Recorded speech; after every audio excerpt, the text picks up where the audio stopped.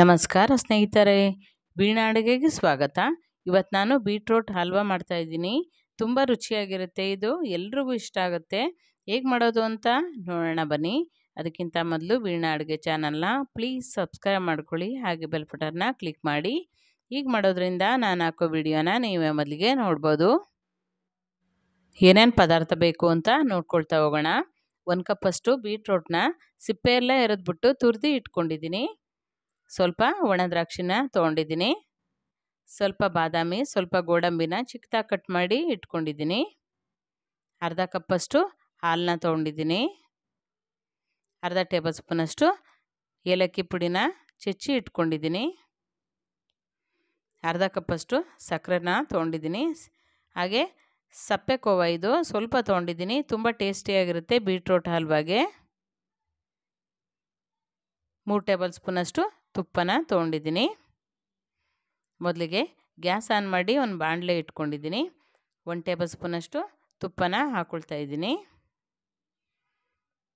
ಈಗ ದ್ರಾಕ್ಷಿ, ಗೋಡಂಬಿ, ಬಾದಾಮಿನ ಹುರ್ಕೊಳ್ಳೋಣ. ಗೋಡಂಬಿ, ಬಾದಾಮಿನ ಹಾಕ್ಕೊಂಡಿದ್ದೀನಿ ಸ್ವಲ್ಪ ಫ್ರೈ ಮಾಡ್ಕೊಳ್ಳೋಣ.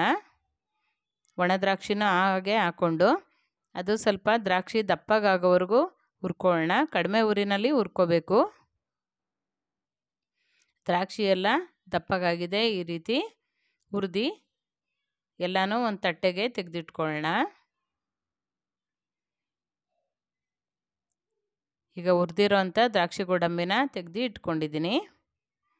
ಮತ್ತೆ ಅದೇ ಬಾಣಲಿನಲ್ಲಿ ಇನ್ನು ಒಂದು ಒನ್ ಟೇಬಲ್ ಸ್ಪೂನಷ್ಟು ತುಪ್ಪನ ಹಾಕ್ಕೊಂಡು, ಬೀಟ್ರೋಟ್ನ ಹಾಕ್ಕೊಂಡು ಹುರ್ಕೋಬೇಕು.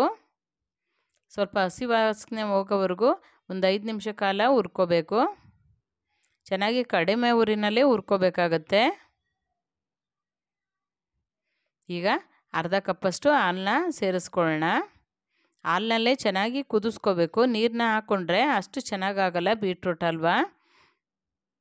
ಈಗ ಎಲ್ಲನೂ ಒಂದು ಸ್ಪೂನ್ ಸಹಾಯದಿಂದ ಎಲ್ಲನೂ ಮಿಕ್ಸ್ ಮಾಡಿಕೊಂಡು ಚೆನ್ನಾಗಿ ಇದು ಬೇಯಬೇಕು. ಒಂದು ತಟ್ಟೆ ಮುಚ್ಚಿ ಬೇಯಿಸ್ಬೇಕು.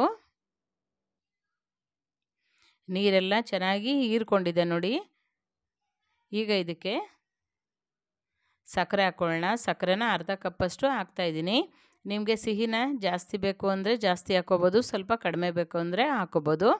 ಹಾಗೆ ಏಲಕ್ಕಿ ಪುಡಿನೂ ಅರ್ಧ ಟೇಬಲ್ ಸ್ಪೂನಷ್ಟು ಹಾಕ್ಕೊಂಡು ಎಲ್ಲನೂ ಮಿಕ್ಸ್ ಮಾಡ್ಕೊಳ್ಳೋಣ. ಈಗ ತೆಳುವಾಗುತ್ತೆ. ಸಕ್ಕರೆ ಹಾಕೋದ್ರಿಂದ ಸಕ್ಕರೆ ಎಲ್ಲ ಚೆನ್ನಾಗಿ ಕರಗುತ್ತೆ ನೀರು ರೀತಿ. ಈ ರೀತಿ ಇದನ್ನು ಕುದಿಸ್ಕೋಬೇಕು ಚೆನ್ನಾಗಿ.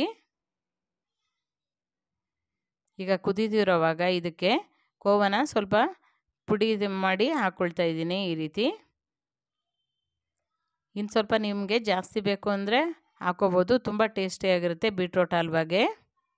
ಎಲ್ಲನೂ ಒಂದು ಸಲ ಮಿಕ್ಸ್ ಮಾಡಿಕೊಂಡು ಕುದಿಸ್ಕೊಳ್ಳೋಣ. ಒಂದು ತಟ್ಟೆ ಮುಚ್ಚಿ ಬೇಯಿಸ್ಬೇಕು. ಎಲ್ಲನೂ ಈ ರೀತಿ ಬೇಯಿಸಿ ಎಲ್ಲ ಇಟ್ಕೊಂಡಿದ್ದೀನಿ. ಈಗ ಬೆಂದಿದೆ. ಈಗ ಡ್ರೈ ಡ್ರೈ ಫ್ರೂಟ್ಸ್ನೆಲ್ಲ ತುಪ್ಪದಲ್ಲಿ ಹುರಿದು ಇಟ್ಕೊಂಡಿದ್ದೀವಲ್ಲ, ಎಲ್ಲನೂ ಹಾಕೊಳ್ಳೋಣ ಎಲ್ಲನೂ ಒಂದು ಸಲ ಮಿಕ್ಸ್ ಮಾಡಿ ಒಂದೆರಡು ನಿಮಿಷ ಕಾಲ ಈ ರೀತಿ ಹುರ್ಕೊಳ್ಳೋಣ ಈ ರೀತಿ ಗಟ್ಟಿ ಆಗ್ತಾ ಬರುತ್ತೆ. ತುಂಬ ಟೇಸ್ಟಿಯಾಗಿರುತ್ತೆ ಈಗ ಗ್ಯಾಸ್ ಆಫ್ ಮಾಡ್ಕೊಳ್ಳೋಣ. ಈಗ ರೆಡಿಯಾಗಿದೆ ಈಗ ಸರ್ವ್ ಮಾಡ್ತಾಯಿದ್ದೀನಿ ತುಂಬ ಟೇಸ್ಟಿಯಾಗಿರುತ್ತೆ ಬೀಟ್ರೂಟ್ ಹಲ್ವಾ. ಎಲ್ಲರಿಗೂ ಇಷ್ಟ ಆಗುತ್ತೆ ಅಂತಲೇ ಹೇಳ್ಬೋದು.